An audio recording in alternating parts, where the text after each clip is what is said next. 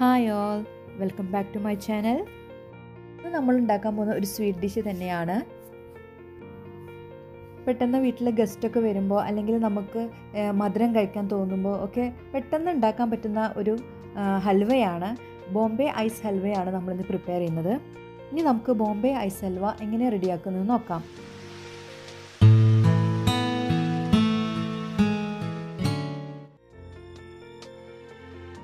ഞാനിവിടെ ഒരു പാൻ എടുത്തിട്ടുണ്ട്. ചുവടി കട്ടിയുള്ള ഏത് പാത്രം വേണമെങ്കിലും എടുക്കാം. പാനോ അല്ലെങ്കിൽ കടായോ ഏത് വേണമെങ്കിലും യൂസ് ചെയ്യാം. ലോ ഫ്ലെയിമാണ് ഓൺ ആക്കിയിട്ടുള്ളത്. ഇനി ഞാൻ അതിലോട്ട് രണ്ട് കപ്പ് പാലാണ് എടുത്തിട്ടുള്ളത്.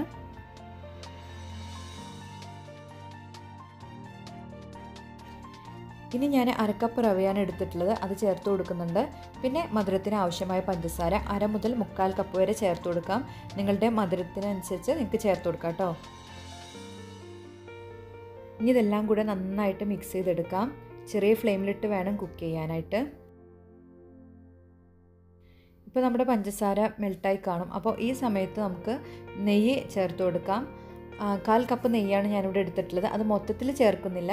കുറച്ച് കുറച്ചായിട്ടാണ് ചേർത്ത് കൊടുക്കുന്നത്.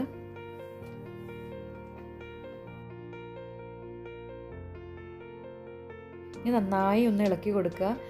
ഹൽവ ആയതുകൊണ്ട് തന്നെ നമ്മൾ മൊത്തത്തിലായിട്ട് നെയ്യ് ചേർത്ത് കൊടുക്കരുത്. കുറച്ച് കുറച്ചായിട്ട് നെയ്യ് ചേർത്ത് കൊടുക്കുകയാണ് വേണ്ടത്.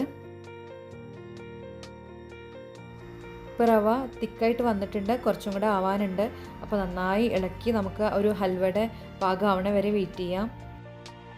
ഈ ടൈമിൽ ഞാനിവിടെ കുറച്ച് സാഫ്രൺ ചേർത്ത് കൊടുക്കുന്നുണ്ട്. ഫ്ലേവറിനൊക്കെ വേണ്ടിയാണ്. ഈ ടൈമിൽ നമുക്ക് കുറച്ചും കൂടെ നെയ്യ് ചേർത്ത് കൊടുക്കാം. എന്നിട്ട് നന്നായിട്ടൊന്ന് മിക്സ് ചെയ്തെടുക്കാം.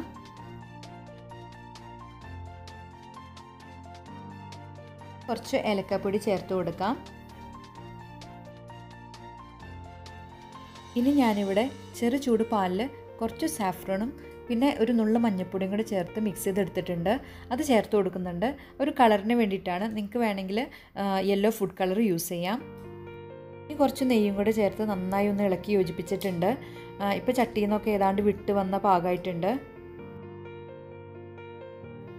ഇപ്പോൾ നമ്മുടെ ഹൽവ റെഡി ആയിട്ടുണ്ട്. ഫ്ലെയിം ഓഫ് ചെയ്യാം.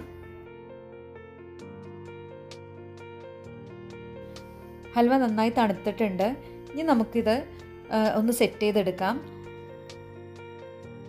അതിനായിട്ട് ഞാനിവിടെ പാച്ച്മെൻ പേപ്പർ അല്ലെങ്കിൽ ബേക്കിംഗ് പേപ്പറാണ് എടുത്തിട്ടുള്ളത്.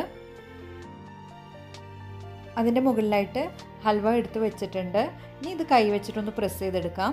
ഇതിന്റെ മുകളിലായിട്ട് നമുക്ക് ഒരു പീസ് ബേക്കിംഗ് പേപ്പറും കൂടെ വെച്ച് കൊടുക്കാം. എന്നിട്ട് ഒന്ന് കൈ വെച്ചൊന്ന് പ്രസ് ചെയ്തതിന് ശേഷം നമുക്ക് റോളർ പിൻ വെച്ച് ഒന്ന് പരത്തി കൊടുക്കാം. നമ്മൾ ചപ്പാത്തി എല്ലാം ആക്കുന്ന പോലെ ഒന്ന് മെല്ലനെ ഒന്ന് പരത്തിയെടുക്കാം നമ്മുടെ ആവശ്യത്തിനനുസരിച്ചുള്ള തിക്നെസ് ആക്കിയാൽ മതി. നിങ്ങൾക്ക് നല്ല തിന്നായിട്ട് വേണമെന്ന് വെച്ചാൽ അതിനനുസരിച്ച് നിങ്ങൾക്ക് പരത്താം. അല്ലെങ്കിൽ കുറച്ച് തിക്കായിട്ട് തന്നെ നമുക്കിത് എടുക്കാം.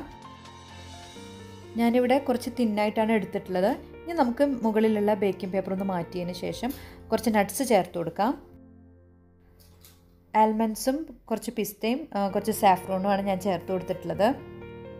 ഇനി നമുക്ക് ബേക്കിംഗ് പേപ്പർ കൊണ്ട് ഒന്നും കൂടെ അത് കവർ ചെയ്തെടുത്തതിന് ശേഷം നമുക്ക് കൈവച്ചൊന്ന് മെല്ലനെ പ്രസ് ചെയ്ത് കൊടുക്കാം. അപ്പോൾ ഈ നട്ട്സൊക്കെ അതിന്റെ മുകളിലായിട്ട് സ്റ്റിക്കായിട്ടിരിക്കും ഇനി നമുക്ക് ഒന്നോ രണ്ടോ മണിക്കൂർ ഫ്രിഡ്ജിൽ വെച്ചിട്ടൊന്ന് തണുപ്പിച്ചെടുക്കാം. ഇപ്പോൾ ഞാനിത് ഫ്രിഡ്ജിൽ നിന്ന് പുറത്തെടുത്ത് വെച്ചിട്ടുണ്ട്. ഇനി ഞാനിതൊന്ന് കട്ട് ചെയ്തെടുക്കാൻ പോവാണ്. ഞാനിവിടെ സ്ക്വയർ ഷേപ്പിലാണ് കട്ട് ചെയ്തെടുക്കുന്നത്. നിങ്ങൾക്ക് വേണമെങ്കിൽ ഇഷ്ടമുള്ള ഷേപ്പിൽ കട്ട് ചെയ്തെടുക്കാം കേട്ടോ. ഞാനിവിടെ ഹൽവ സ്ക്വയർ പീസസിൽ കട്ട് ചെയ്തെടുത്തിട്ടുണ്ട്. അപ്പോൾ നമ്മുടെ ടേസ്റ്റിയായ ഹൽവ റെഡി ആയിട്ടുണ്ട്.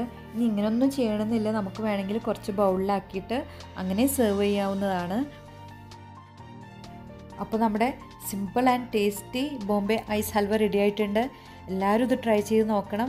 വളരെ എളുപ്പമാണ് ഉണ്ടാക്കിയെടുക്കാൻ പെട്ടെന്ന് ഗസ്റ്റ് എല്ലാം വരുമ്പോൾ നമുക്ക് റെഡിയാക്കി എടുക്കാവുന്നതാണ്. ഇതിൽ ഉപയോഗിച്ചിട്ടുള്ള ഇൻഗ്രീഡിയൻസ് എല്ലാം എപ്പോഴും നമ്മളെ വീട്ടിൽ അവൈലബിൾ ആയിട്ടുള്ളതാണ്. അപ്പോൾ എല്ലാവരും ഇത് ട്രൈ ചെയ്ത് നോക്കുക. ഇഷ്ടപ്പെട്ടാൽ ലൈക്ക് ചെയ്യാനും ഷെയർ ചെയ്യാനും മറക്കരുത്. നിങ്ങളെന്റെ ചാനൽ ആദ്യമായിട്ട് കാണുമെങ്കിൽ സബ്സ്ക്രൈബ് ചെയ്ത് സപ്പോർട്ട് ചെയ്യണേ. Thanks for watching all take care and bye